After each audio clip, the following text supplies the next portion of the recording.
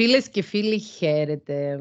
Σήμερα θα σας γνωρίσω μία νεαρή κοπέλα, μία νεαρή μάμα, η οποία στο Instagram έχει την επωνομασία «Η πριγκιπέσσα του Βαλκανίου». Σωστά; Πολύ σωστά.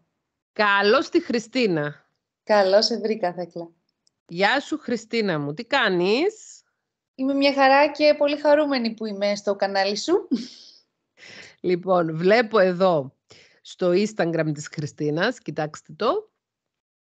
Η πριγκιπέσσα των Βαλκανίων, δύσκολη καιρή για πριγκίπισσες, μα ακόμη πιο δύσκολη για μαμάδες. Παλιά κείμενα και βίντεο εδώ. Κάτσε να ανοίξω εδώ να δω. Τι είναι αυτό το εδώ. Α, www.iprinkipesan.com Για εγγραφή στο newsletter έχεις εδώ ένα, ένα σύνδεσμο που μπορεί κάποιος να εγγραφεί στο newsletter σου. Λοιπόν, η πριγκιπέσσα των Βαλκανίων, δηλαδή η Χριστίνα, με προσέγγισε στο Instagram και μου είπε ότι έχει γράψει ένα βιβλίο και θα ήθελε να μου το στείλει.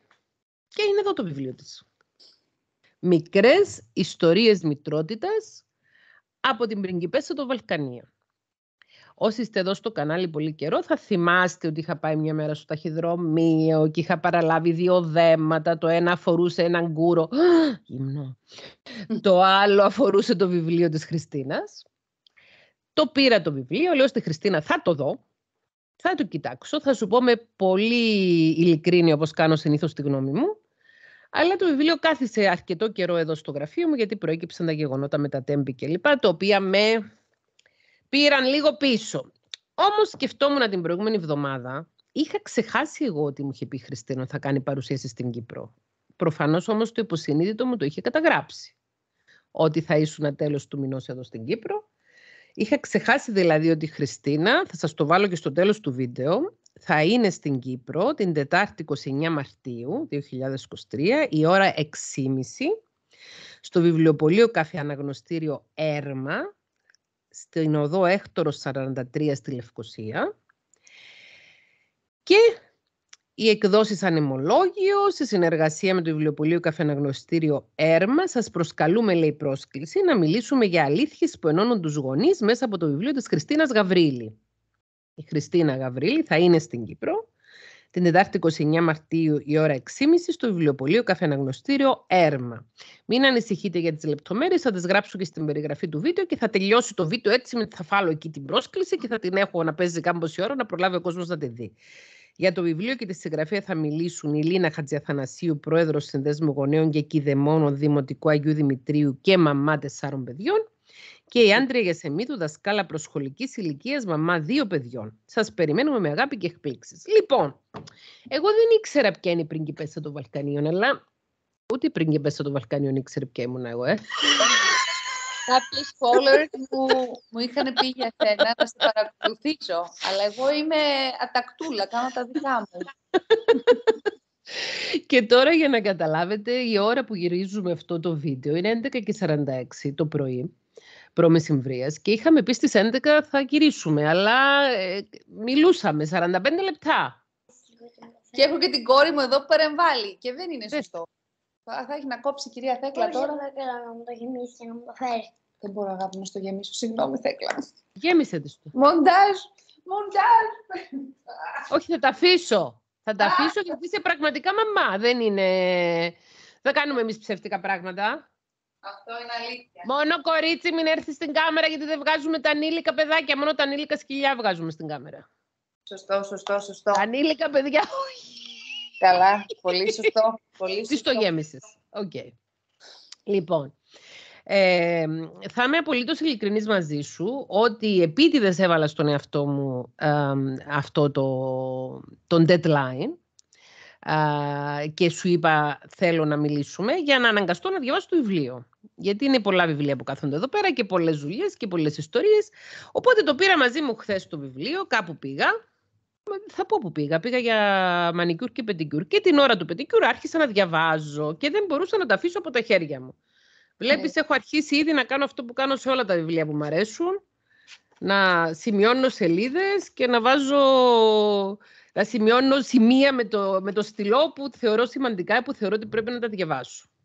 Και εγώ το ίδιο κάνω. Μεγάλη μου τιμή γιατί ξέρω το πρόγραμμά σου, το φαντάζομαι δηλαδή, καθώς άρχισα να βλέπω όλα αυτά που κάνεις και να ακούω... Αγάπη το... μου, το πρόγραμμά μου είναι πολύ πιο εύκολο από το δικό σου που έχεις δυο μικρά παιδιά.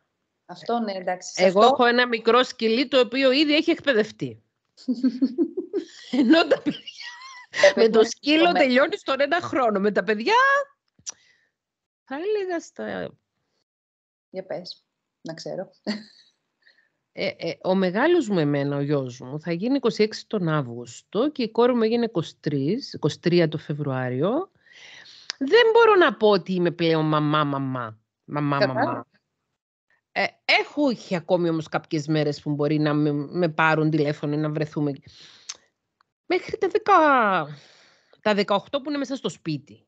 Ω, μα τι μου λες τώρα Μετά και εγώ στις θέλω. σπουδές πάλι, στις σπουδές πάλι, δηλαδή τι να σου πω, ε, καλά έρχονται στις διακοπές, κάνουν μπάρτι, ιστορίες Εντάξει. κακά, ξεσηκώνουν το σκυλί. ε, θα τα πούμε στη συνέχεια. Έχω μέλλον, Λοιπόν. έτσι. Έχω 10 χρονάκια δηλαδή ακόμη, τουλάχιστον μέχρι να ξεπεδιάσω. Ξεπεδιώσεις. Άμα ξεπεδιώσεις, έχεις πιο εύκολο χρόνο. Λοιπόν, διαβάζω εδώ στο επιστόφυλλο του βιβλίου, λέει 40 και μία εκβαθέων εκμυστηρεύσεις, γραμμένες με αυτοσαρκασμό, χιούμορ και ευαισθησία, είναι αλήθεια αυτό, σκιαγραφούν το ταξίδι αυτογνωσίας και τις προκλήσεις που η σύγχρονη Ελληνίδα καλείται να αντιμετωπίσει ως μαμά, γυναίκα και σύντροφος. Οι μικρές ιστορίες μητρότητας είναι ένα ανθολόγιο ηλεκτρονικών επιστολών. Γι' αυτό λέω Μμμ. να κάνουμε γραφή στο... Θα κάνω και εγώ τώρα στο, Newsletter. Στο newsletter, αλλά ε, όχι για μένα, ε, όχι γιατί θα ξαναγίνω μαμά, Ε, όχι. αλλά ε, ναι. ναι. Ε, θα τη στέλνω και στην κόρη μου, Μμμ, με την οποία έχουμε κάνει μια περίεργη συμφωνία. δηλαδή; Ε, έχουμε συμφωνήσει ότι υπάρχει και η επιλογή της μη μητρότητος. Φυσικά, δεν Έχουμε υπάρχει. κάνει αυτή τη, ναι, ναι, έχουμε κάνει αυτή τη συμφωνία. Ήρθε και ο γιος μου, συγγνώμη. Θα γίνουμε πολύ. Ηλία μου, κάνω κάτι σημαντικό. Σε παρακαλώ, αν μπορείς να πας μέσα. Βάλε νερό, δεν σε εμποδίζω. Για Πήγαινε να πιεις νερό, αγόρι μου. Ε, και επίσης συμφωνήσαμε ότι αν αποφασίσει να γίνει μητέρα δεν θα τσακωθώ μαζί της. πες. Μπράβο, μπράβο. Ωραία, συμφωνία. θα της το επιτρέψω. Δηλαδή, το εντελώς αντίθετος τη κλασικής Ελληνίδας μαμά που θέλει οπωσδήποτε η κόρη της να κάνει παιδιά και οπωσδήποτε και οπωσδήποτε. Και οπωσδήποτε. Σωστό. Λοιπόν, οι μικρές ιστορίες μητρότητας είναι ένα ανθολόγιο ηλεκτρονικών επιστολών που στάλθηκαν από την πριγκιπέσσα των Βαλκανίων προς τις μαμάδες ακόλουθους του blog για να τους θυμίσει ότι δεν είναι οι μόνες που δυσκολεύονται, δεν είναι τρελές και δεν είναι μόνες. Σαν ένα φιλικό χτύπημα στην πλάτη, ένα συνωμοτικό κλείσιμο ματιού, μια σφιχτή αγκαλιά συμπαράστασης, για να συνεχίσουν να προσπαθούν για το καλύτερο παρά την αϊπνία, παρά την κούραση και το χάος, για να μείνουν εκεί παρούσες και διάφανες, για να μην χάσουν την πίστη τους στον εαυτό τους, τα παιδιά τους και στο θαύμα της ζωής της ίδιας. Λοιπόν, και μπήκα εγώ και διάβασα, για να είμαι ειλικρινής, τις πρώτες έξι επιστολές. Και είμαι κατενθουσιασμένη. Ω, Και δεν έχεις διαβάσει το βιβλίο μου «Χαρούμενη μαμά, χαρούμενα παιδιά», το οποίο διέπεται ακριβώς από παρόμοιο πνεύμα και είναι καταπληκτικό που δεν το έχεις διαβάσει. Γιατί ο κόσμος θα δει ότι μπορεί δύο διαφορετικές γυναίκες, δύο διαφορετικές μαμάδες, μία τελειωμένη ψυχολόγος και μία που σπουδάζει ψυχολογία, θα σε δώσω τώρα, θα σε δώσω ότι είσαι μελλοντική συνάδελφος, πώς μπορεί να γράφουν δύο ξεχωριστά βιβλία και να έχουν ένα παρόμοιο πνεύμα. Είναι καταπληκτικό γιατί η αλήθεια είναι μία και ο καθένας μας φτάνει σε αυτή την αλήθεια μέσα από διάφορους δρόμους. Έτσι. Τι, τι θες να μας πεις για σένα; Εγώ θέλω το να και- πω πρώτα για σένα λιγάκι. αν μου όχι, επιτρέπεις. όχι, όχι, τελείωσε. Ε, Σιωπής. Σε παρακαλώ. Λοιπόν, Έχω εκπλαγεί. έχεις μια με πολύ την- ωραία φωτογραφία εδώ πέρα, θα διαβάσω και αυτό και μετά θα πεις. Γεννήθηκα στα περίχωρα των Αθηνών και μεγάλωσα με κάντι κάντι, χλωρίνη κλινέξ και μπόλικο γιόκο τσόκο. Το γιόκο τσόκο δεν ξέρω τι είναι, η κάντι κάντι ξέρω και η χλωρίνη κλινέξ ξέρω. Σπούδασα στη Θεσσαλονίκη και στην Αγγλία και για πολλά χρόνια εργαζόμουν από το πρωί μέχρι το βράδυ. Ποιες ήταν οι πρώτες σου σπουδέ, κυρία μου; Οργάνωση και διοίκηση επιχειρήσεων στο Πανεπιστήμιο Μακεδονίας στη Θεσσαλονίκη. Θέκλα μου. Ξέρεις εσύ. Ξέρω που είναι. Στα 35 μου, λίγο αφού το έγινα μαμά, αποφάσισα να κατέβω από αυτό το τρένο για να βεβαιωθώ ότι πάει εκεί που θέλω. Θεά. Όπου τώρα λέμε τρένα και δεν πρέπει, τέλος πάντων. Ναι. Άστο, παρένθεση. Ύστερα από μια τρυφερή επανασύνδεση με το εσωτερικό μου παιδί, με το πρώτο μου παιδί που δεν είχα ποτέ χορτάσει και με το δεύτερο που ακολούθησε, ανακάλυψα ότι οι μυστηριώδεις διάδρομοι της ανθρώπινης ψυχής με έλκουν πολύ περισσότερο από τους εταιρικούς. Σήμερα κυνηγάω το μεγάλο μου πάθος στη ψυχολογία. Μπράβο Χριστίνα. Και εδώ θέλω να σου πω ότι οι καλύτεροι ψυχολόγοι είναι αυτοί που έγιναν ψυχολόγοι μετά τα 40. Άμα ψάξεις να δεις τις βιογραφίες των μεγάλων θεωρητικών, των, βεβαίως, των μεγάλων ε, εμπνευστών των διάφορων ε, σχολών προσωπικότητας, θεωριών προσωπικότητας και ψυχοθεραπευτικών σχολών, θα δεις ότι έκαναν άλλα επαγγέλματα και μετά ασχολήθηκαν να σπουδάσουν την ψυχολογία και να ασχοληθούν με αυτή. Από το 2018 στο προσωπικό μισθολόγιο Πριγκιπέσα των Βαλκανίων, www.iprinkipessa.com μοιράζουμε με εκατοντάδες μαμάδες σκέψεις, συναισθήματα, αγωνίες, χαρές και πάνω απ' όλα αλήθειες. Από αυτές που θα σε κάνουν πότε να γελάς, πότε να κλαις, πότε και τα δύο ταυτόχρονα. Ιστερόγραφο 1. Θα με βρεις στο Instagram ως η πριγκιπέσα και στο Facebook ως η πριγκιπέσα των Βαλκανίων. Προς το παρόν αντιστέκομαι στεναρά στο TikTok. Συνέχισε. Εγώ ανεβάζω το like στο TikTok. Ιστερόγραφο 2. Λατρεύω τα ιστερόγραφα. και αυτό είναι το... η αφιέρωση μου έχει βάλει με χρυσό στυλό. Την κόρη μου μου θυμίζεις τώρα με τα χρυσά στυλό. Θέκλα μου, σε ευχαριστώ για τις αλήθειες που τόσο απλόχερα μοιράζεσαι μαζί, απλόχερα μοιράζεσαι μαζί μας. Σε ευχαριστώ για την ανοιχτότητα σου και την προσιτότητα σου. Σε ευχαριστώ που δέχτηκες να ρίξεις μια ματιά στη δική μου αλήθεια. Με πολύ αγάπη και αγωνιστικούς χαιρετισμούς. Χριστίνα και βάζει εδώ ένα φατσουλίνι που από πάνω έχει το, είναι το δικό σου emoji αυτό, που από πάνω έχει την, την κορώνα. και μου το στείλε 11 Φεβρουαρίου το 23 και σήμερα 24 ε, Μαρτίου το 23 κάνουμε αυτό το βίντεο. Πες μου λοιπόν για σένα. Και μετά θα διαβάσω κομμάτι από το βιβλίο σου. Πω, πω, εντάξει, με έχεις κάνει θεά. Να πω εδώ ότι εγώ δεν περίμενα παιδιά σήμερα ότι θα κάνουμε αυτό το πράγμα. Εγώ νόμιζα ότι ήθελε να κάνουμε ένα Skype να γνωριστούμε. Ναι, ναι που έχω ώρα εγώ να κάνω Skype για να γνωριστούμε. Θα κάνω Skype για να κάνουμε βίντεο. Σκεφτόμουν τέλος πάντων. Εμείς θα κάνουμε όλα μαζί σε αυτό το κανάλι. Και σου είπα, θα εγγραφείς στο κανάλι μας και θα παρακολουθήσει και τα βίντεό μας. Ότι γράφτηκα, ήδη γράφτηκα και έχω ξεκινήσει τη μελέτη. Αλλά oh. θέλω, έχεις πάρα πολύ υλικό, πρέπει να μπω σε... Με αφορούν το βίντεο. Με ενδιαφέρουν τόσο πολύ και ως εκολαπτώμενη συνάδελφος αυτά που λες και αυτά που κάνεις και θα μπω στα ψυχοεκπαιδευτικά σίγουρα. Το εννοώ αυτό που λέω ότι επειδή άκουσα και το podcast σου από την αρχή μέχρι το τέλος, είναι έργο αυτό, έτσι, είναι λειτουργήμα. Και είναι προς όλο ναι, τον είναι, κόσμο. Είναι η δική μου κλίση με ήττα και με γιόντα. Το άκουσα και πολύ ωραίο το βρήκα αυτό σαν λογοπαίγνιο. Λοιπόν, ε, τι να πω άλλο, τα είπες όλα μέσα σε πέντε λεπτά, καταιγιστική όπως πάντα. Ε, το timing είναι φοβερό γιατί στο έστειλα τόσο νωρίς. Η αλήθεια είναι ότι και εμένα αυτό με τα τέμπη με επηρέασε τόσο πολύ που δεν θα είχα μπει στη διαδικασία να σκεφτώ, να, σε, να, να επικοινωνήσω μαζί σου. Άσε που δεν φανταζόμουν να είσαι τόσο προσιτή. Τόσο... Γιατί να μην είμαι παιδί μου; Τι να πω, πραγματικά με εξέπληξες πάρα πολύ. Τι και... διαφορά έχεις εσύ από εμένα. Πέραν του ότι είσαι νεότερη; πέντε χρόνια νεότερη είμαι. Είσαι πέντε χρόνια νεότερη. Πέραν του ότι είσαι πέντε χρόνια νεότερη, τι διαφορά έχεις; Έχεις μια τεράστια απορία. Πολύ μικρότερα παιδιά. Και ταλαιπωρείσαι πολύ περισσότερο σε μια ηλικία που κουράζεσαι πολύ περισσότερο. Αυτό ακριβώς. Αλλά απ' την άλλη, όπως λες και εσύ, ε, χαίρομαι τόσο πολύ που σε αυτή την ηλικία, με αυτές τις συνθήκες, επέλεξα αυτό που κάνει την καρδούλα μου να χτυπάει δίχως να έχω καεί. Γιατί φαντάζομαι ότι κάθε πάθος... Α, χτυπάνε και τα κουδούνια εδώ, γίναμε.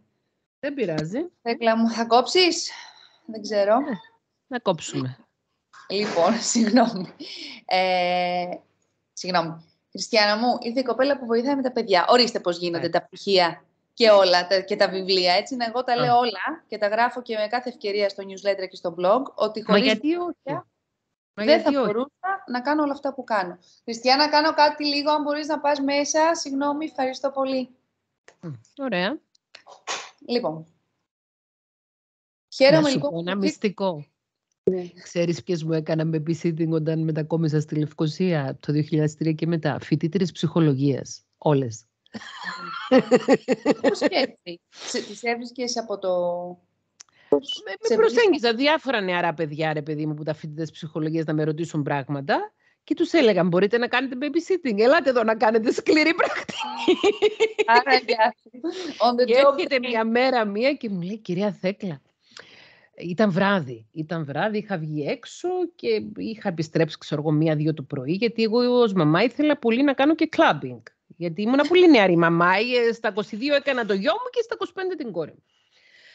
Και στα 26 χώρισα, οπότε ήμουν μία μονογονιός η οποία είχε μία καθυστερημένη εφηβεία να επαναβιώσει και λοιπά, να βιώσει και λοιπά, να αναβιώσει και λοιπά και λοιπά. Οπότε ήρθα ένα βράδυ, λέω, έλα να πιούμε ένα ποτό. Και της βάζω ένα ποτό. Εντάξει, ήταν 23, όχι, 21 ήταν η κοπέλα, ήταν ενήλικας. Άμα έπια με το ποτό και χαλαρώσαμε, μου λέει, ξέρεις ότι κάνουμε μάθημα για σένα. Της λέω, τι; Δηλαδή, Ντρεπόμουν να σου το πω. Λέει, έχουμε έναν καθηγητή, ο οποίος έρχεται στο μάθημα και μας λέει μια μέρα ότι είχε μία φοιτήτρια, Κύπρια, που ήταν κόρη του παπά, η οποία ήταν πολύ θρησκόληπτη και η οποία έκανε επικούς καυγάδες μαζί του στο μάθημα της φιλοσοφίας της νόησης. Μιλούσε εναντίον της θεωρίας του Δαρβίνου, αυτή η κοπέλα κλπ. κλπ. Και ότι του έκανε τρομερή εντύπωση ότι κάποια χρόνια μετά που τελείωσε τις σπουδές της, αυτή η φοιτήτρια τους στείλε ένα email στο οποίο τους ζητούσε συγνώμη για όλες εκείνες τις φορές που έκανε ρεζιλίκια μέσα στο μάθημα και του έλεγε ότι έχω αλλάξει πλέον σκέψη μετά που τελείωσα τις σπουδές μου και μετά που έκανα παιδιά και μετά που έζησα το γάμο και μετά που χώρισα κατάλαβα ότι ήμουνα υπό το καθεστώς πλήσης εγκεφάλου τότε και συγγνώμη.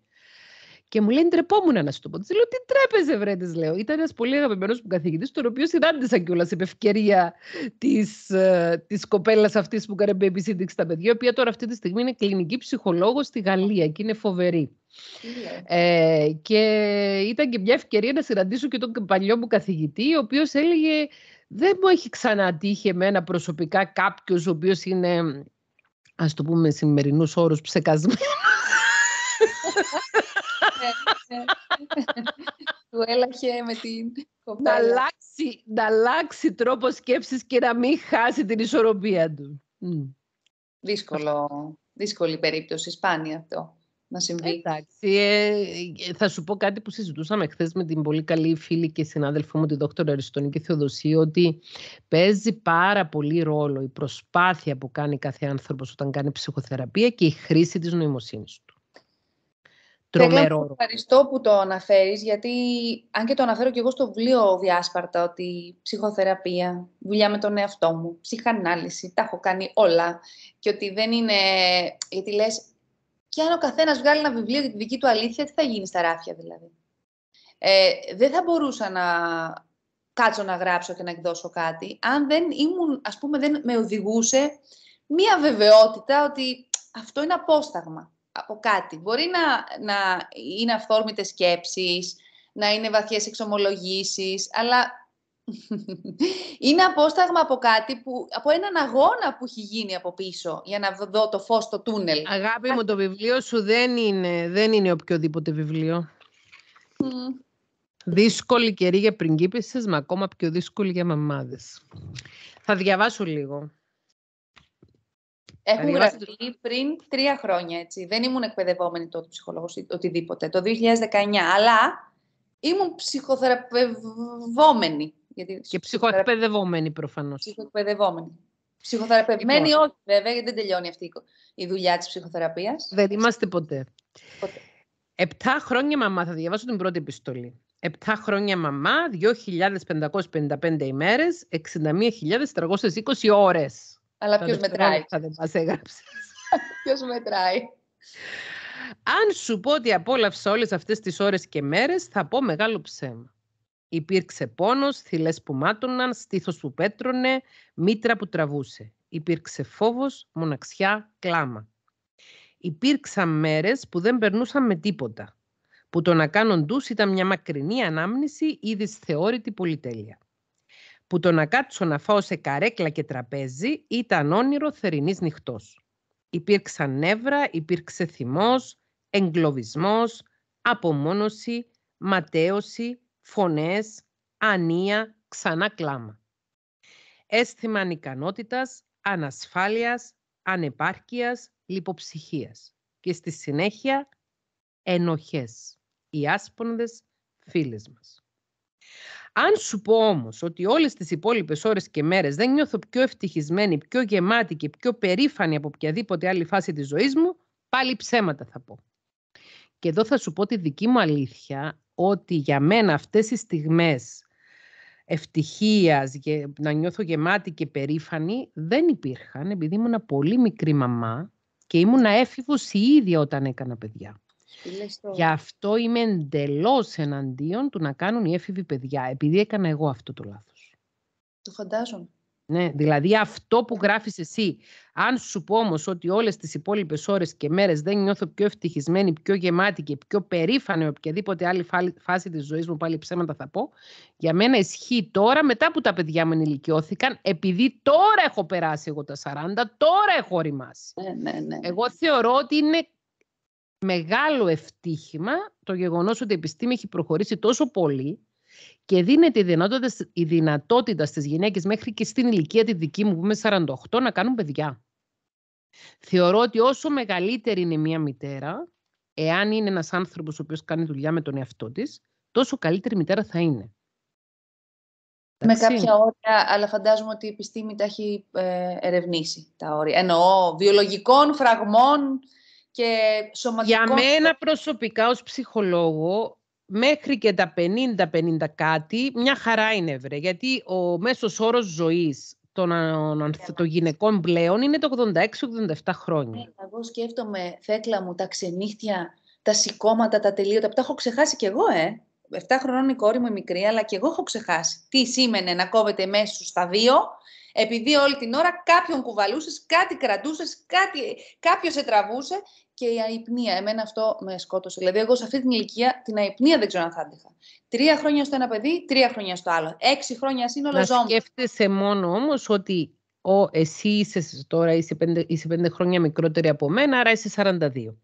Να σκέφτεσαι ότι τώρα νιώθεις τόσο κουρασμένη επειδή ήδη έχεις μεγαλώσει μικρά παιδιά. Οπότε μια κοπέλα που δεν έχει κάνει παιδιά μέχρι τα 50 έχει τις δυνάμεις να το κάνει. Εγώ πιστεύω ότι όσο το σώμα μας λειτουργεί, εγώ για παράδειγμα δεν είμαι καν στην προμηνόπαυση. Το ξέρω γιατί το ευχόμουν.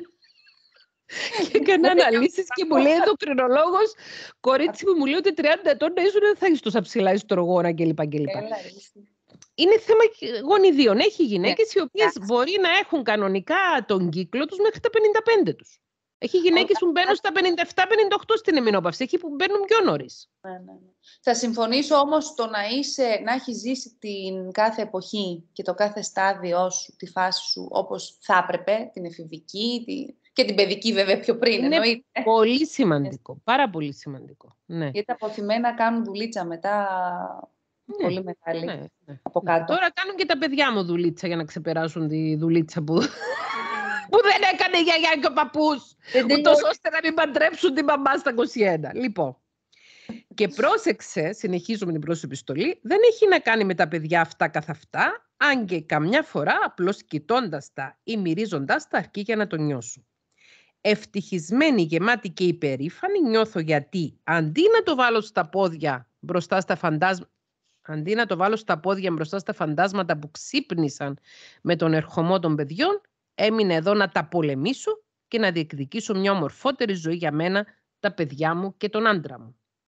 Και έχεις απόλυτο δίκιο σε αυτό, ότι η μητρότητα και γενικώ η γονεϊκότητα το να γεννήσεις παιδιά σε φέρνει άμεσα σε επαφή με το εσωτερικό σου παιδί. Και ό,τι ατέλειωτα έχεις, ό,τι εσωτερικούς δαίμονες έχεις, σε πνίγουν.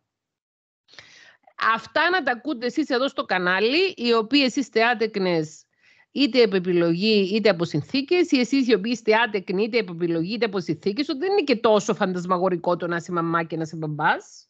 Σε καμία των περιπτώσεων. Βέβαια, αυτό δεν σημαίνει ότι απόψε το βράδυ στις 9, όταν η δυόμιση χρόνων κόρη μου θα αποφασίσει ότι αντί για ύπνο είναι μια καλή ώρα για μπάνιο και θα βγάλει όλα της τα ρούχα με το έτσι θέλω και με κίνδυνο να πνιγεί με την ίδια της την μπλούζα γιατί έχει και αυτοπεποίθηση πανάθεμά την, θα μπει στην πανιέρα κακήν κακός, θα ανοίξει το νερό τέρμα, θα ορλιάξει που είναι παγωμένο, θα το βάλει στο καυτό, θα ορλιάξει που είναι καυτό, θα προσπαθήσω να τη βγάλω, θα ορλιάξει γιατί θέλει να μείνει, θα την αφήσω λίγο, θα το μετανιώσω γιατί δεν θα θέλει να βγει, αν δεν παπαριάσει μέχρι το κόκαλο, θα αναγκαστώ να την πάρω σηκωτή και θα μου κοπεί μέσα στα δύο, θα μου ξεγλιστρήσει μέσα από τα χέρια σαν το χέλι, θα σαβουρδιαστεί ένα μέτρο πιο πέρα, θα ορλιάξει από τον πόνο, δεν θα κάθεται να δω αν χτύπησε και πού, δεν θα κάθεται να τη σκουπίσω, θα τρέχει γυμνή και βρεγμένη στο σπίτι σαν να μπαίνει ο Αύγουστος. Θα χρειαστούν δύο άτομα για να την πιάσουν, να την ακινητοποιήσουν και να την ντύσουν, να τη στεγνώσουν τα μαλλιά και να τη βάλουν για ύπνο με το ζόρι στις 11. Ότι δεν θα ξανανιώσω απελπισία, κούραση και απόγνωση. Ακούς λάκι, κι άλλοι κάνουν μπάνιο σαν και σένα, όχι μόνο κι άλλοι. Είσαι φοβερή, τι ωραίο Απλώς τώρα στο δεύτερο παιδί ξέρω ότι είναι φάση και θα περάσει. Και αν το χάσω λίγο θα με συγχωρήσω. Και την επόμενη φορά θα τη βάλω εγώ για μπάνιο, αν το θέλει πολύ, και ας είναι 9 και ας βγούμε λίγο από το πρόγραμμα. Θεάρα. Θέλω να διαβάσω και το επόμενο. Δεν μπορώ. Έχω πορωθεί με το βιβλίο σου. θα το διαβάσω, επιτρέπετε; Εκεί Εσύ το copyright το κανάλι. Εσύ το copyright. Βρε το βιβλίο σου διαβάζω. Ε, λοιπόν, σου δίνω την άδεια. Αυτό θέλω, θα διαβάσω αυτό και μετά θα σας διαβάσω πράγματα που έχω σημειώσει. Ναι, ναι. Εντυπωσιάζουμε του γάμου τα εννιά μέρα. Είχα και χιούμορ πιο πολύ. Τότε, τώρα βλέπω βαραίνω σιγά σιγά στα newsletter. Μία το ένα, μία το άλλο. Παρέτα μας κόρη. Θα, θα επανέλθει, θα, θα μεγαλώσουν τα παιδιά, θα φύγουν από το σπίτι, θα ξανάρθει το χιούμορ σου. Τα κοινωνικά με βαραίνουν τώρα, τα ευρύτερα, τέλος πάντων. Εντυπωσιάζουμε τόσο πολύ από, τις, από περιπτώσεις ανθρώπων που βρήκαν το σύντροφο της ζωής τους μικρή-μικρή, έκαναν την οικογένειά τους και ζουν ευτυχισμένοι 25, 30, 40, 50 χρόνια μαζί. Θεωρώ ότι είναι τόσο σπάνιο να ξέρεις τι θέλεις και τι σε κάνει ευτυχισμένος σε τόσο μικρές ηλικίες. Είναι καθαρά θέμα τύχης.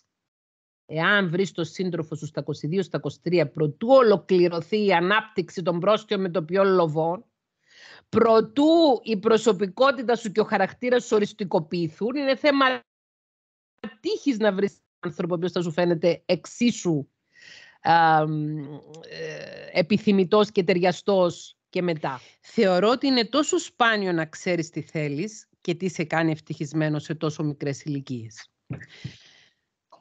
Δεν ξέρεις τι θέλεις, δεν ξέρεις τι σε κάνει ευτυχισμένο. Γνωρίζω κάποια ζευγάρια τα οποία έχουν επιτύχει, αλλά νομίζω είναι καθαρά θέμα τύχης. Ότι πέτυχαν να είναι δύο άνθρωποι οι οποίοι εξελίχθηκαν προς την ίδια κατεύθυνση. Λότε.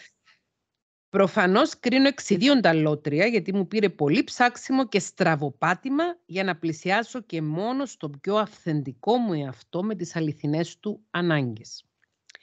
Μέχρι τα 27 μου περίμενα τον υπότι πάνω στο άσπρο άλογο να έρθει να με πάρει, να με σηκώσει στον αέρα, να με βάλει στη σέλα, να καλπάσουμε παρέα ανάμεσα στα πυκνά δάση και τα ανθοστόλιστα λιβάδια της ζωής.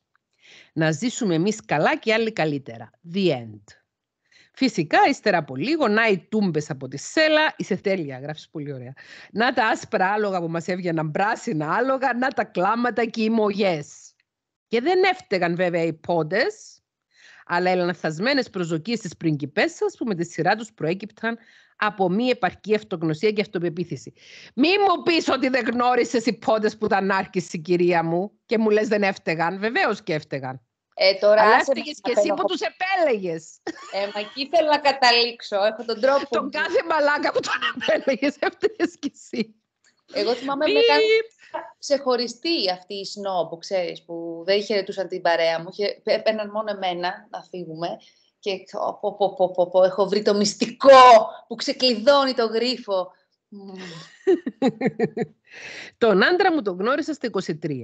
Στο πρώτο μας ραντεβού θυμάμαι είχε έρθει να με πάρει με ένα νικιάρικο λαχανίσια τα ρόζα. Πού ήταν άραγε το άλογο; Τα πράσινα τα άλογα το δρόσο.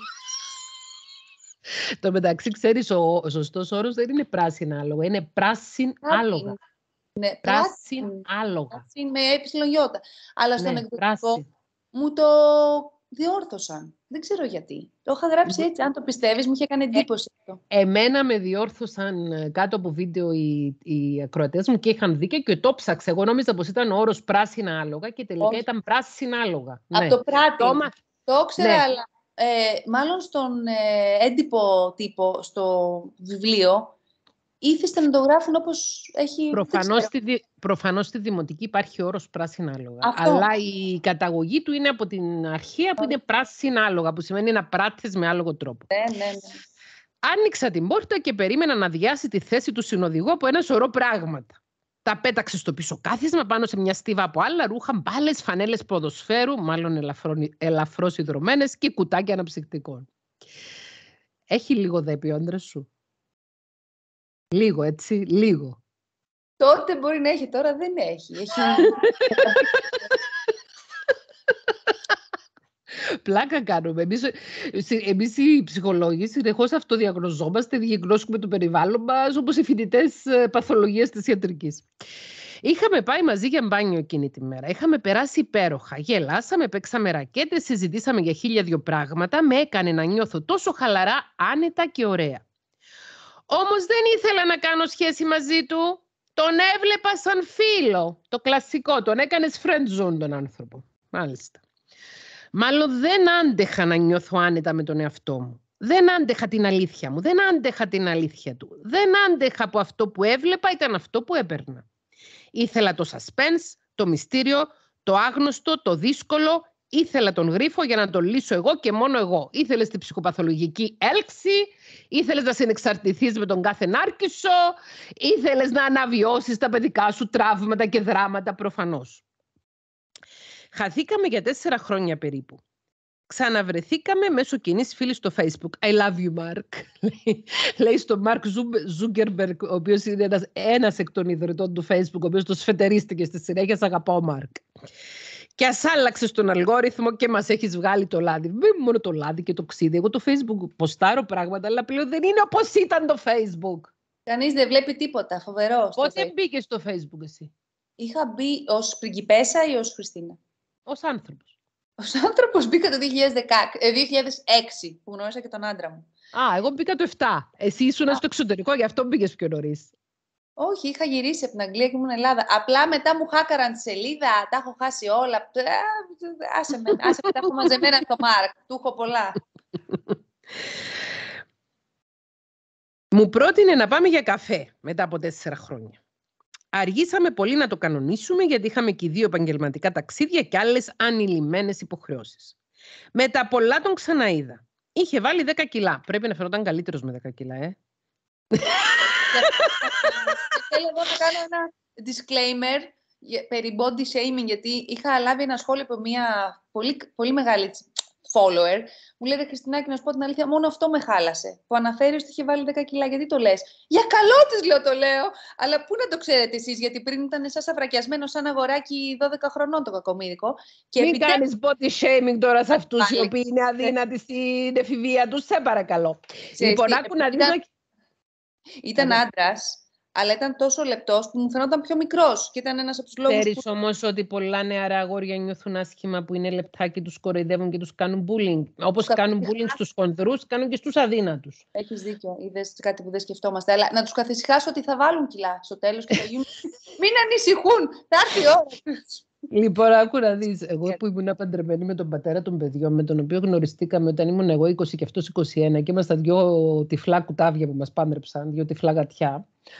Και ε, του έλεγα, «Ε, ρε Γιώργο, πότε θα μεγαλώσεις, πότε θα γίνεις σαραντάρης, να σπίρουν τα μαλλιά σου, να μ' αρέσεις, γιατί προφανώς την ηλικία τότε είχα μέσα στο μυαλό μου ότι μία πιο εμφάνιση μέσης ηλικίας θα ήταν πιο ελκυστική τους στην Φαντάζομαι. οριμάσει, να οριμάσω κλπ.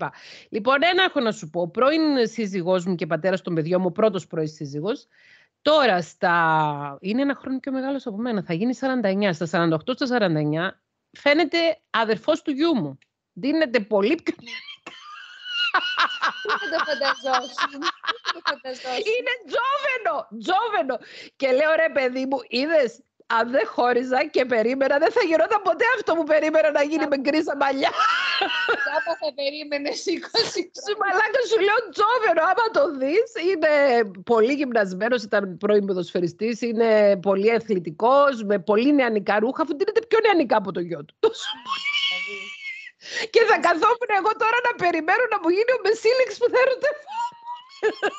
Περίμενε άλλα 20 χρόνια να πάει 60 να... Μακάρι να είναι καλά ο άνθρωπος. Δεν, ε, δεν ταιριάζαμε γιατί ήμασταν πάρα πολύ μικροί. Τον αγαπώ βαθύτατα. Πραγματικά τον αγαπώ γιατί περάσαμε μαζί πράγματα. Με άντεξε, τον άντεξα.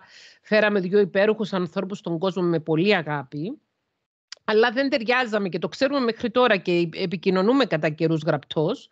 Ε, Κυρίως για τα παιδιά. Δηλαδή, όταν θέλει να περάσει ένα μήνυμα στα παιδιά και μπορεί να στείλει ένα μήνυμα στα παιδιά και να μην, ειδικά ο γιος μου είναι ένα στυλάκι που δεν απαντάει αμέσως, μπορεί να μου στείλει εμένα. Ε, δεν, δεν υπάρχει καμία αρνητικότητα και καμία κακία. Ίσα ίσα τότε είχαμε πει όταν χωρίζαμε ότι αν εμείς φτιάχναμε απλώς σχέση, και δεν μας έβαζαν οι γονείς μας να παντρευτούμε, θα φτιάχναμε μια πολύ ωραίο, ένα ωραίο ειδήλιο το οποίο θα τελείωνε χωρίς ταλαιπωρίες. Όμως έχουμε φτιάξει και δύο υπέροχα παιδιά, οπότε μια χαρά. Λοιπόν,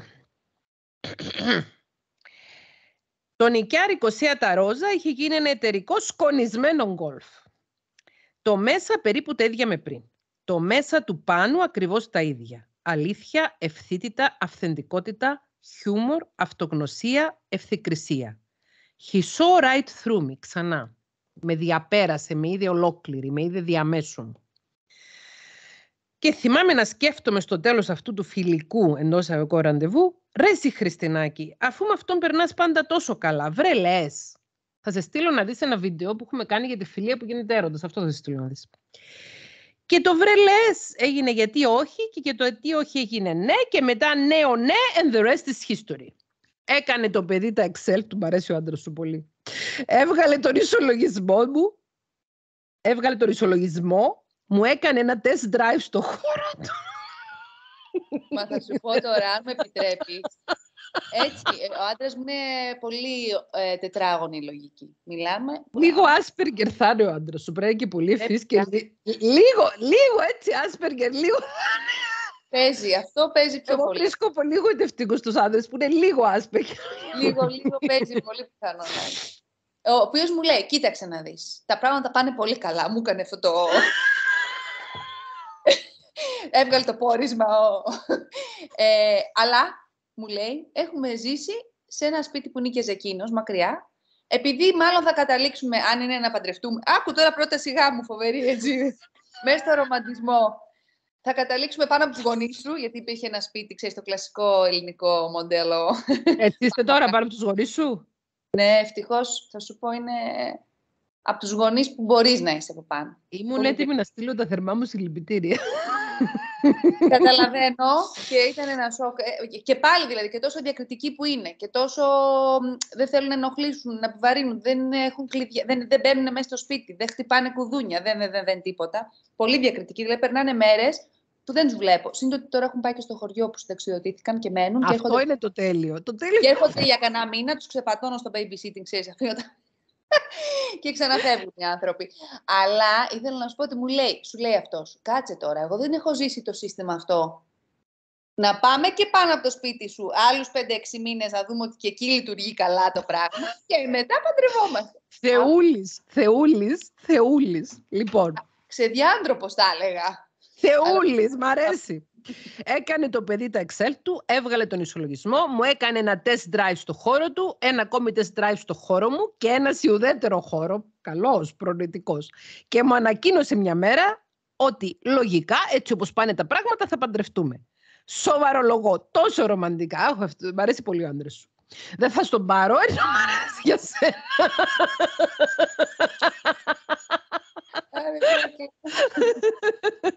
Όχι, δεν τον πάρεις, είναι και λίγο βαρετός. By the way, μόνο αυτό. Ξέρεις πόσο πολύ χαίρομαι οι φίλες μου και οι γυναίκες που αγαπώ να είναι ευτυχισμένες με όποιο τρόπο.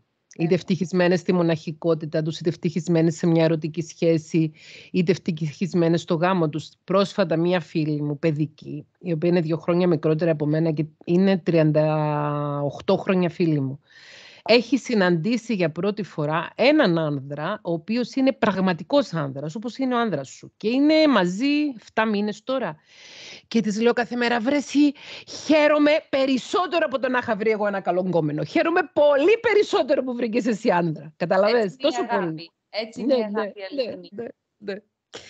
Δόξα ο Κύριος θα πω. Μέγας είναι και θαυμαστά τα έργα του. Γιατί Άγιο είχα που στα 27 μου είχε αρχίσει φαίνεται ο εγκέφαλος να βρίσκει κάπως τη θέση του μέσα στο κεφάλι μου. Και έβλεπα ότι τα παραμύθια είναι μάλλον για παιδιά. Στα 26 χρόνια ολοκληρώνεται περίπου η εξέλιξη, η ανάπτυξη των πρόσθετων μετοπιών λοβών στα κορίτσια και στα 28 χρόνια περίπου ολοκληρώνεται η, προς... η ανάπτυξη των πρόσθετων μετοπιών λοβών στα αγόρια. Άρα είσαι ψυχολόγος πριν να είσαι ψυχολόγος. Ναι. Πίστευτο, ε. Αυτό το έχουμε μάθει πρόσφατα, ενώ παλιότερα θεωρούσαμε ότι ο εγκέφαλος αναπτύσσεται μέχρι τα 12. Σήμερα ξέρουμε μέσω των, της νευροψυχολογίας και των πορισμάτων των ερευνών της νευροεπιστήμης ότι στα κορίτσια μέχρι τα 26 και στα αγόρια μέχρι τα 28. Άρα, ήσουν Στην μέσα. τάξη, βέβαια, δεν ξέρω αν με ακούς γιατί πάλι κάτι έχει... Α, στην τάξη, λέω, με τους συμφοιτητές μου, όταν μας δίδασκαν αυτό το, το σημείο ακριβώς που λες στην νευροβιολογία, νευροβιοψυχολογία, γελάσαν τα κορίτσια όταν ακούσαν το 28. Έτσι στο λέω απλά για να δεις ποιες είναι και οι σύγχρονες απόψεις των ε, 20χρονων κοριτσιών. Λένε πια 28 για τους άντρες και 40 και βάλε. Δεν ξέρω- Δεν ξέρω γιατί το λένε. Δεν θες να μάθεις. Δεν θες να μάθεις και όταν μεγαλώσει η κόρη σου θα μάθεις. Λοιπόν, εάν έχεις με την κόρη σου τη σχέση που έχω εγώ με τη δικιά μου μαθαίνω, θα μάθεις. Λοιπόν, θα μάθεις ότι τα κορίτσια, α, όπως και όλες οι γυναίκες οι οποίες είναι single στην εποχή μας, έχουν καινούργια φαινόμενα να αντιμετωπίσουν παρά πριν 10 χρόνια ή πριν 15 χρόνια. Life happens, men happen. ε, ε, η πατριαρχία ακόμα δυστυχώς συμβαίνει. Είναι προστατε... Ναι, Ιταλίστια η πατριαρχία, αλλά έχει πολύ τοξική επίδραση, τοξική αρενοπότητα. Έχω στα σκαριά να φτιάξω ένα βίντεο στο οποίο αναλύω φράση προς φράση ένα φρικιαστικό βίντεο. Έλα. Που μου έστειλαν α, από αυτά τα βίντεο που είναι τύπου Andrew Tate, που λένε πράγματα για τις γυναίκες υψηλής αξίας και τις γυναίκες. Ούτε εγώ μπορώ, ούτε εγώ μπορώ. Είμαι σίγουρη ότι άμα το κάνω θα πάθω ότι έπαθα όταν έκανα το βίντεο με τον Αμβρόσιο. Ούτε αυτό το έχεις δει να μπεις να το δεις. Και... Αλλά θα το κάνω γιατί πρέπει να το κάνω για τα νέα τα παιδιά. Λοιπόν, και για να σοβαρευτούμε, δεν υπάρχει προφανώς σετ συγκεκριμένο χαρακτηριστικό που πρέπει να έχει ο άντρας ο σωστός, ο τίμιος. Απλώς αυτά ήταν που εγώ χρειαζόμουν σε εκείνη τη φάση της ζωής μου και που τέριαζα με τις δικές μου αξίες που τις ανακάλυψα σχετικά μεγάλη και ακόμη τις ανακαλύπτω. Υπάρχουν όμως κάποια πράγματα τα οποία πρέπει να έχει, δηλαδή η συναισ- ψυχοσυναισθηματική νοημοσύνη, ψυχοσυναισθηματική οριμότητα, εντιμότητα. μμ. Και ενώ θεωρώ ότι ο βαθμός αυτογνωσίας είναι σημαντικό βαρύ, βαρύμετρο μακροζωίας ενός γάμου, ώστε να μην ψάχνουμε στο πρόσωπο του άλλου ότι μας έχει λείψει από προηγούμενες σχέσεις ή τη μαμά μας ή τον μπαμπά μας ή το αντίθετό τους, τι ωραίο αυτό που λες για το reactivity, για την αντιδραστικότητα, αλλά αυτό που εμείς θέλουμε, τρομάζω αναλογιζόμενοι ότι οι εγγυήσεις δεν υπάρχουν για το μέλλον. Welcome to real life. Δεν ξέρω αν θα έχουμε πάντα την επιθυμία να γεράσουμε μαζί. Εγώ σας εύχομαι, αν είναι για το καλό σας, να έχετε πάντα την επιθυμία να γεράσετε μαζί. Αν είναι για το καλό σας, σας το Μμμ. εύχομαι. Το μόνο που ξέρω είναι ότι έχουμε την επιθυμία να είμαστε αληθινοί και να το παλεύουμε. Γιατί έτσι είναι η ζωή. Έχει δουλειά σε ατομικό και ομαδικό επίπεδο. Καλόν αγώνα λοιπόν σε όλους μας και να μην ξεχνάμε να απολαμβάνουμε και τους καρπούς μας ε, και μαζί και μόνοι. Αχ, τι ωραία που είναι όλα αυτά. Είναι πάρα πολύ ωραία. Είναι πάρα πολύ ωραία.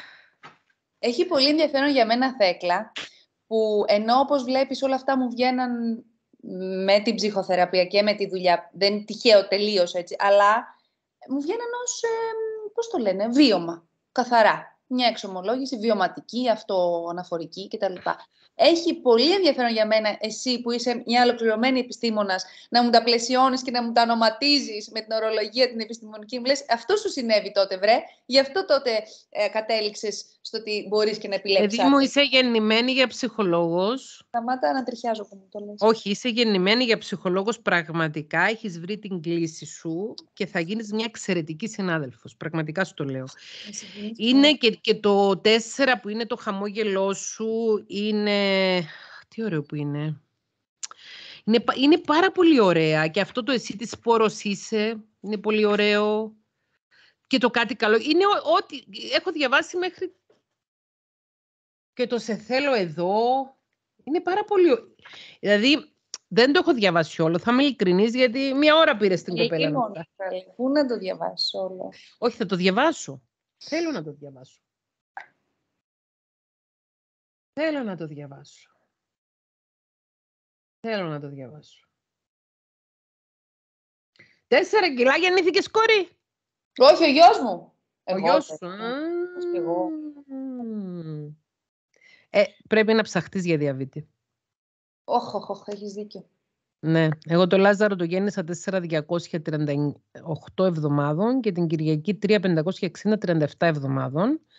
Και ενώ τα τεστ διαβήτη και ίσως δεν έδειχναν να είχα, τελικά είχα. Πότε το ανακάλυψες; Στα 42 μου, όταν έβγαλα ένα αυτοφλεγμονώδες νόσημα στο δέρμα και... Δεν, δεν είναι τίποτα, βρε. Αν, υπα... αν έχεις υψηλή ινσουλίνο αντίσταση, θα παίρνεις τη μετφορμίνη, που είναι ένα εξαιρετικά καλό φάρμακο και θα είσαι μια χαρά. Δεν είναι τίποτα.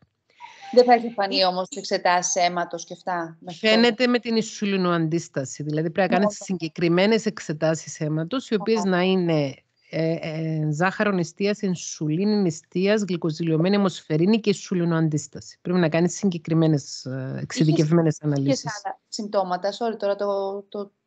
Ε, Είχα πάει 103 κιλά, έτρωγα συνέχεια, είχα πονοκεφάλους και είχα διάφορα δερματικά. OK, OK. Δεν, δεν σημαίνει ότι απαραίτητα το έχεις και εσύ, δεν σημαίνει κάτι, αλλά ε, εγώ το συνδύασα και τότε η γιαγιά μου η οποία έχει διαβήτη. Είχε, γεν- α, ξεκίνησε από τα 4 κιλά και πήγε μέχρι τα 5 στο τέταρτο παιδί. Δηλαδή, Ω. επειδή υπάρχει υπεργλυκαιμία στο αίμα όταν έχεις Ναι, ναι, ναι. διαβήτη και, Τώρα ίσως- που το λες, το και είχα το πει. Λάζαρος γεννήθηκε 4.200 και μετά από δύο εβδομάδες θυλασμού πήγαμε στην παιδίατρο και ήταν 6 κιλά αντί να χάσει έβαλε που τα, όλα τα νεογέννητα χάνουν στις αρχές. Και Ο Ηλίας έξι μηνών, 10 κιλά. Είναι Δεν είναι δυνατό. Δεν είναι πολλά, όχι, δεν είναι πολλά. Α, Μια εντάξει. χαρά είναι, Πάντως μια ήταν, ήταν μια αστρο... Βέβαια, αν τον δεις τώρα, σιλφίδα, αλλά ήταν ένα γλυκούλης μου. Λοιπόν, φίλες και φίλοι, δεν θα σας διαβάσω περισσότερο, γιατί παι- θα το πάρετε το βιβλίο να το διαβάσετε. Είναι από τις εκδόσεις Ανεμολόγιο. Η συγγραφέας είναι η κοπέλα που βλέπετε εδώ πέρα, η οποία δεν το ήξερε ότι θα κάνουμε βίντεο. Γι' αυτό βγήκε όπως είναι στην κουζίνα της και βγήκε σε μια κανονική μαμά και αυτό είναι καταπληκτικό. Είναι η Χριστίνα Γαβρίλη. Μικρές ιστορίες μητρότητας από την πριγκιπέσα των Βαλκανίων στην περιγραφή του βίντεο. Θα υπάρχουν οι πληροφορίες για την παρουσίαση της Χριστίνας, η οποία θα γίνει την επόμενη Τετάρτη. Μμ, 29 Μαρτίου είναι η Σωστά. επόμενη Τετάρτη. Ναι, ναι, ναι. Είναι την επόμενη Τετάρτη 29 Μαρτίου ή 2023 ώρα 6.30 στη Λευκοσία. Σας, θα σας βάλω και την πρόσκληση έτσι φάτσα κάρτα στο Ευχαριστώ τέλος του πάρα βίντεο για να τη δείτε αλλά και τις πληροφορίες στο βίντεο. Θα σας βάλω πληροφορίες που θα την βρείτε στο Instagram, που θα την βρείτε στο Facebook. Disclaimer, δεν έχω πληρωθεί τίποτα για αυτή την πρόθεση, μόνο αγάπη και μόνο τεράστια χαρά. Μ, Φιλενάδα, πρέπει να πάρεις το βιβλίο μου χαρούμενα με χαρούμενα παιδιά να το διαβάσεις και θα πεις Μα αυτή γράφαμε παρόμοια πράγματα χωρίς να το ξέρουμε. ε». Είναι Πότε το έχεις καταπληκτικό. γράψει; Θέκλα, πότε το έχεις Το γράψει; 17. Το Το 17. Θα το πάρω Εδώ. οπωσδήποτε. Τέλεια. Τέλεια, θα Το το είναι πάρω γιατί και πολλές μαμάδες από το blog, ξέρεις, μου ρωτάνε κατά καιρούς τι μπορούν να διαβάσουν. το έχω- Λοιπόν, εγώ συστήνω το βιβλίο αυτό στις κοπέλες που είναι στο κανάλι, σε αυτές που είναι μητέρες, σε αυτές που είναι γιαγιάδες, σε αυτές που σκέφτονται να γίνουν μητέρες και σε αυτές που σκέφτονται να μην γίνουν μητέρες. Πραγματικά. Θέλω να πω ότι η μητρότητα είναι ένας δρόμος που έχει κάθε δικαίωμα μια γυναίκα να ακολουθήσει. Έχει κάθε δικαίωμα μια γυναίκα να μην ακολουθήσει. Ακούς Κυριακή; Και... Το subliminal μήνυμα το πέρασε η μαμά. Όχι βρε, να σου πω κάτι. Δεν θέλω να ταλαιπωρηθεί τον κορίτσι μου. Δεν θέλω. Η ζωή Άμα το θελήσει πολύ να το κάνει, αλλά κατάλαβες αυτό είναι το... συνειδητοποιημένη. Ε, πρέπει να γίνεις μάνα και πρέπει οπωσδήποτε και πρέπει να θυσιαστείς το μάνα θυσία κλπ. Δεν μ' αρέσει. Αν θέλει το κορίτσι μου να το κάνει και θα το κάνει και θα το αποδεχτώ και θα αγαπάω και το παιδί, θα το αγαπάω όπως αγαπάω και το σκυλί. Εδώ σκυλί μου έφερε και τα αγάπησα. Έλα εδώ σκυλί μου. Έλα εδώ σκυλάκι μου. Έλα εδώ σκυλάκι Είμαι σίγουρη ότι θα ζήσεις άλλη εμπειρία τώρα. Πόσο μάλλον το παιδί, αλλά λέμε τώρα και στους δυο έχω πει ότι δεν είναι ο σκοπός του ανθρώπου να κάνει παιδιά, δεν είναι ο σκοπός του ανθρώπου να γίνει γονιός, αλλά άμα το κάνει, να το κάνει με μεγάλη ευθύνη, αλήθεια και εντιμότητα, που είναι ξεκάθαρο ότι το κάνεις εσύ Χριστίνα και σε ευχαριστώ πάρα πολύ γι' αυτό, γιατί Εγώ. χρειαζόμαστε μαμάδες σαν εσένα. Σήμερα σου λέω με έχεις κάνει ε, από το πουθενά. Θεά, σε ευχαριστώ πάρα πολύ, Θέκλα μου. Το εκτιμώ πάρα Διάβασα το βιβλίο σου.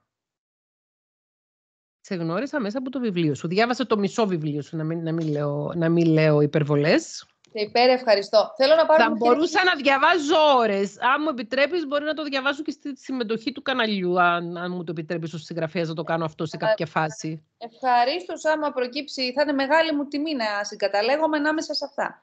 Και εγώ θέλω Ναι. να πω στο συνδρομητικό σου να δω αυτά που μου είπες τα ψυχοεκπαιδευτικά, γιατί και ως εκολεπτόμενη με ενδιαφέρει πάρα πολύ. Ξέρεις, αυτός ο τρόπος που κάνεις εσύ ο άμεσος, ο- βλέπεις πως μου αρέσει και εμένα και βιωματικός στην ουσία, ε, με βοηθάει γιατί σε αυτή την ηλικία δεν μπαίνει πολύ η πληροφορία. Η, η θεωρία του ΤΑΔΕ το 1970. Μην το πεις αυτό, είναι επειδή έχεις ακόμη μικρά παιδιά και ταλαιπωρείσαι. Όταν Εντάξει. μεγαλώσουν τα παιδιά και φύγουν από το σπίτι, να δεις τι διάβγεια θα έχεις και η χρυσή δεκαετία των ποιητών, των αρχιτεκτώνων και των καλλιτεχνών, η χρυσή δεκαετία δημιουργίας της ζωής τους, ξέρεις ποια είναι; Πες μου να πάρω το θάρρος μου. 60 με 70 ετών. Προλαβαίνω! Αυτή είναι η χρυσή δεκαετία καλλιτεχνικής πνευματικής δημιουργίας. Τέλεια. Πολύ παρήγορο και ελπιδοφόρο αυτό και σε ευχαριστώ πάρα πολύ που μου το φωτίζεις. Μη σας, όσοι είστε μαμάδες νεαρών παιδιών, μην, ε, θυ- μην θεωρείτε ότι θα είναι όλη σας η ζωή έτσι. Είναι εξαιρετικά δύσκολο πράγμα να έχεις μικρά παιδιά, εξαιρετικά χρονοβόρο, εξαιρετικά ενεχο- ενεργοβόρο, εξαιρετικά ψυχοφθόρο. Γι' αυτό είπα και προηγουμένως ότι για το δικό μου το παιδί δεν θα ήθελα να ταλαιπωρηθούν τα δικά μου τα παιδιά. Κατάλαβες τι εννοώ. Ναι, ναι. Όμως, κάποια στιγμή τα παιδιά μεγαλώνουν, κάποια στιγμή ξεπαιδιώνεις και παίρνεις το μυαλό σου πίσω. Εντάξει. Περιμένω πώς και πώς. Είμαι στη διαδικασία επανα, επαναγκατάστασης. με ρωτά, ποιο με ρώταγε προχθές, βρε, ποια με ρώταγε. Λέει, μετανιώνεις που μεγάλωσα με παιδιά. Τι λες, βρε, της λέω, προσευχές, γονικλησίες, πότε θα ξεπαιδιώσω, πότε θα ενηλικιωθώ και τι μου λες μετανιώνω. Και γουστάρω τρελά που είναι ενήλικες, νεαροί ενήλικες και χαίρονται τη ζωή με τον δικό τους τρόπο καθένας, με την προσωπικότητά του, το χαρακτήρα του, το στυλάκι του, ο κα- ο καθένας διαφορετικός από τον άλλο. Ωραίο. Εντελώς και εσύ θα το ξέρεις αυτό από τα δικά σου τα Ναι, παιδιά. εντελώς, εντελώς. Και είναι καταπληκτικό. Και ένδειξη του πόσο τους έχεις αφήσει να διαμορφώσουν, φαντάζομαι, τη δική τους προσωπικότητα ο καθένας. Αγάπη μου, εγώ σε δύο πράγματα ήμουν άτεγκτη. Δύο πράγματα μόνο. Η κάθισμα αυτοκινήτου, α, το οποίο να είναι δεμένο πάνω στη ζώνη ασφαλείας και η ζώνη ασφαλείας του καθίσματος αυτοκινήτου δεμένη Και εγώ το ίδιο. και προσοχή στην ασφάλεια στο δρόμο. Σε αυτά τα δύο ήμουν άτεγκτη. Σε άλλα ωράρια, Ναι, ναι, 11 άμα να κοιμόντουσαν εμένα τα δικά μου τα παιδιά, 11 θα έκανα πάρτι. ναι. Κοίτα, διαλέγουμε τις μάχες μας. Αυτό λέγαμε προχθές σε ένα live με μια μαμά. Μμ. Ότι δεν μπορεί σε όλα. Είναι εξαντλητικό να παλεύεις σε όλα τα μέτωπα, να είσαι τέλεια σε όλα. Τέλεια τα παιδιά σου, τέλεια εσύ, τέλειοι βαθμοί, τέλειο Μα το- δεν υπάρχουν τέλεια παιδιά. Και να σου πω κάτι, να, να, θέλω να μοιραστώ και αυτό μαζί σου, γιατί είμαι σίγουρη πως το βίντεο θα το παρακολουθήσουν πολλές από τις μαμάδες που σε παρακολουθούν. Λοιπόν, ε, με- όταν μεγάλωσα τα παιδιά μου, ε, πήρα πολύ συνειδητά την απόφαση να μην ασχολούμαι με το διάβασμα τους. Πάρα Μμμ. πολύ συνειδητά. Τους έλεγα το εξής. Εγώ έχω τελειώσει το δημοτικό, έχω τελειώσει το γυμνάσιο, έχω τελειώσει το λύκειο, έχω τελειώσει το πανεπιστήμιο. Αν γουστάρετε θα το τελειώσετε κι εσείς. Όταν χρειάζονταν βοήθεια, προσλαμβάναμε βοήθεια. Δηλαδή δεν έτυχε να κάνουν κάποια ιδιαίτερα μαθήματα στα μαθηματικά, στα αγγλικά κλπ. Και ήταν μέτριοι μαθητές. Τα πήγαν εξαιρετικά καλά στις σπουδές τους και οι δύο. Ε, βέβαια.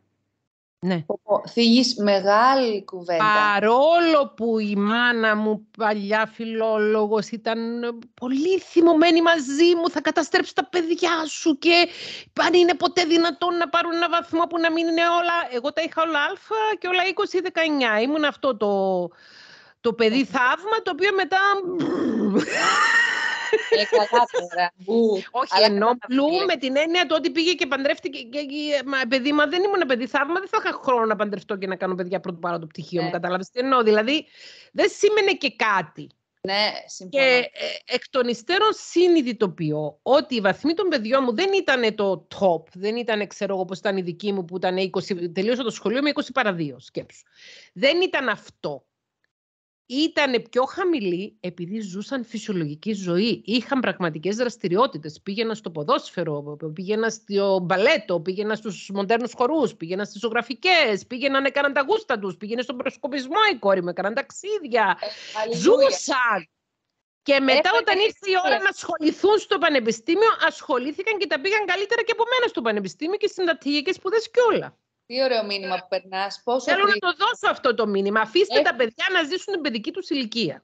Έχουμε ανάγκη να τα ακούσουμε. Υποφέρουμε κι εμείς μαζί, χωρίς λόγο. Και Υποφέρουμε, γάμα μου έφεραν και 13 μου έφεραν.